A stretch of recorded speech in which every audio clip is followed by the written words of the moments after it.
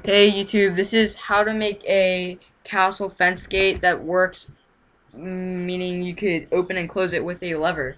Now I made redstone and letters there as you see. Now that was a test attempt, now I will show you how to do it. Now we're going to make like a sort of structural door to a castle. I'm not going to build a whole castle for you guys at the minute, but what I will do is I'll show you guys how to make a fence gate with that. So we're gonna do that. Say this is the door to your castle. I will show you how to make it so you could actually open and close gates. Meaning you can make people enter, not enter. So this is kind of like, say say this is a castle. Say there's a castle behind this door, but there's really not. But just say there is. Okay, now what you're gonna need for this is redstone repeaters, redstone, fence gate, and sticky pistons. And I'm in creative mode just to show you guys all that good stuff.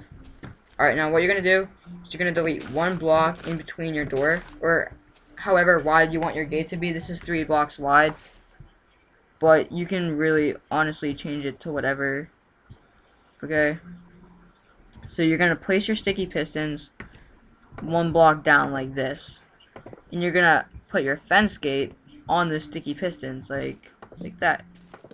So now you have your fence gate on your sticky pistons. Oh, and then I'm just going to do a little type deal here. You know what? No, I don't need that.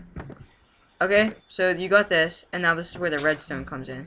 Now, if you guys don't know what redstone is, it's like an electrical current, but for Minecraft, so it's kind of cool in that way.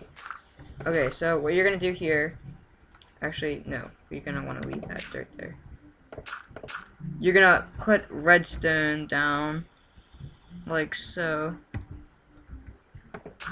Actually, you are gonna want to leave that there. You're gonna put redstone down like this, and you're gonna put your repeater down after that. So then the repeater is gonna go right here. Actually, your repeater is gonna go first. Then you're gonna place redstone down. So you're gonna put three repeaters behind the sticky pistons and then you're going to put your regular redstone over this way okay? And then you want to put the current oh you're also going to need a lever or button or pressure plate or anything that activates a current okay? So then you're going to put your redstone up like that so the current is going up to where you're going to put your lever like so. You're going to place your lever down like that so it opens and closes the gate. Now I actually made the sticky pistons one higher than it's supposed to be, which is an easy, easy, easy fix, like that. Okay, so then you're just gonna, actually, you're gonna put your sticky pistons two blocks down from where the entrance of your door is gonna be, like, like that. And then you're gonna put your fence gate on top of that. So that, currently, it's closed right now, actually it's currently open now and then if you don't want any visitors you'll push the lever and then as you see it is closed. So open close levers working not working. I mean working yeah it's working. Okay so then to cover it up you'll have your patio whatever block you kind of block you want to use there like that. You're just gonna cover it up and kind of build it into your pathway like that.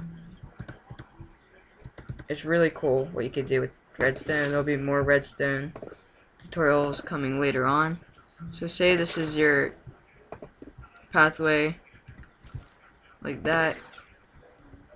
That's going to be your lever that's going to open and close it. So like as you see I can enter, not enter, and then as you see I close it.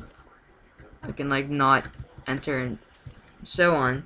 Okay, now there's different ways to uh, hide it, you can make like actually what you could do is whoops my bad. You could put your lever too higher. Actually, no, you can't do that. You're just gonna leave your lever there like that, and it works and everything. But you know, there's many ways you could hide the redstone. You could place like a sidewalk type deal here. You can like make a small wall over top of it like that. And then you could say press lever for open and close. You could even put like stuff right here.